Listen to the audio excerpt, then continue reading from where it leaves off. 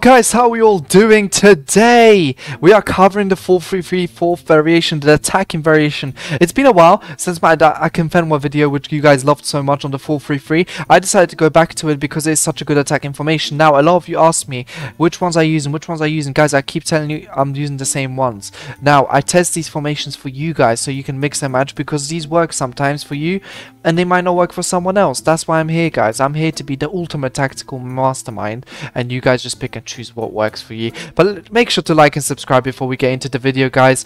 Let's go. 433. In fact, no, hold on, guys. Hold on. I can't. I can't. I, I need you guys to subscribe first. Just press the subscribe button, guys. It's just down there. You don't miss out on any Ultimate Team content. You'll get 6pm content first. How to do uh, solutions quickly. You know, how to get objectives done. So everything will be there. Let's get straight into it, guys. 433, 4 variation. Let's go what we're going to be doing is balanced. Uh, we're going to drop the width to 4e uh, because we need to obviously look, it's an attacking formation, and at the end of the day, we need to keep a bit more compact, right? Because the problem with the 4-3-3 is that it's very, very wide. So by keeping it compact, we are allowing ourselves to succeed. 60 depth, meanwhile, is very, very important because what it allows you to do is just attack, guys. It's just get the ball back, you know, press up, press up, press up.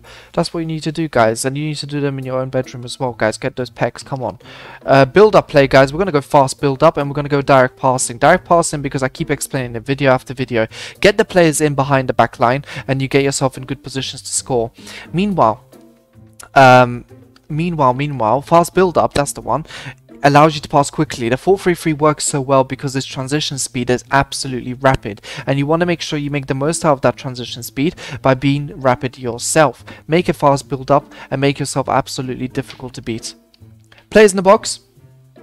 Seven guys, you know how we do. We have to have about seven people. Not messing around. Let's get the players in the box, get them involved. That's what we have to do. Corners are going to be on two and free kicks on one as per usual. Now, your striker is going to be on stay central and that's it. Just let them stay central. Let them connect the plays between the cam and the wingers. Let them be the middleman between everything. The bridge, you could call it, guys. Meanwhile, your right wingers and left wingers are going to be on. Stay wide, get in behind, get into box for cross.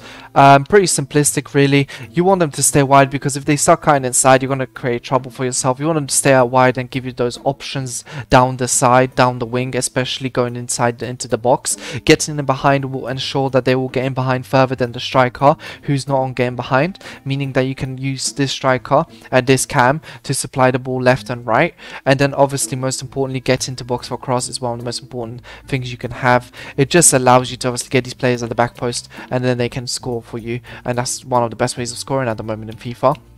Both Centre mids are going to be on stay back cover centre. People like Nkunku who have attacking work rates will attack anyway. Petit most likely will push up at times anyway, you'll probably see from gameplay. Stay back cover centre is only there because the 4-3-3, 4 variation super super attacking. You don't want to be uh, putting yourself in a very deadly position where these players are basically not staying back and everyone's pushing up. You can't have that because there'll be six players and no one to defend basically in the midfield. Can't have that. By the way, the cam is staying balanced in case anyone wonders. It is unbalanced. Um, left back, right back, just on stay back. Once again, make sure that the back is covered, uh, especially the two centre backs who will need your support at all times. So make sure the left back and right back are there uh, and they don't move around too much. Now, let's get into some gameplay. Here we are with the gameplay for the 4-3-3 4 variation. Um, what you guys will notice is, like I said, you'll be having a lot of players in those key key positions in attack. Now, uh, a lot of people ask me, Tom, don't you struggle defensively when you use such a formation? Uh, you can if you don't play it safely enough. Um, I kind of gave you guys the play instructions to be able to play it in a good way. I don't know why in, like, in the world he had Kimpembe up there. But you guys will notice that this will stretch out your opposition down the sides, allowing you to have more space in the middle. I mean, I think I've been saying the same thing since last FIFA, to be honest, in all my videos. Um, it's just something that works so well. I don't know why I have that player icon thing, man. Oh, come on, man. That's just not ideal to concede, is it? That player icon thing really put me off there, um, as he celebrates with his Butragueño, which no one genuinely cares about. I'm sure he didn't even know who Butragueño was till this FIFA came out or last FIFA, whichever FIFA. Here we go, Mbappe. Oh, here we go, Ben Yedder. Ah, close. You're going to see a lot of bodies in the middle. And that's exactly what you need. Here we go, Mendy. Can you cut that off? Yes, you can. And that's what happens really. There will be uh, they will be able to cut off because guess what? You'll have those players back, and um, you need to make sure you can maintain that shape in the back because if you don't, then trouble comes along like that Butragueño goal. Here we get a good clean tackle on Butragueño this time. He doesn't get through. Mbappe, look at how quick we transitioned there. That's the fast build-up for you guys. The transition speed is rapid. And then Green, oh, I should be going in with Bamba there, to be honest. I am pretty shocked it didn't go in. Um, we're going to try and try and place the Petit, actually. Oh, Petit just decides to go behind And, Nkunku! Wow. wow, we love those. That is an absolute... Mo oh, that literally released a Kraken, man. Seriously. Wow. Here we go, though. Ben Yedder. Counter. Ben Yedder, turn. Turn. We have Bamba in the box. 2-1. Bang. Players in the box, occupying the spaces where the opposition cannot get. I keep saying to you guys, bang, forfeited. Forfeited. What else can I say, guys? Let's look at the formation Hughes. 4 triple two. Let's go over. I understand that the first goal was the first goal. Let's quickly go over because I need to talk to you guys about uh, this goal here. We won't see the other goal, unfortunately, because of when it was.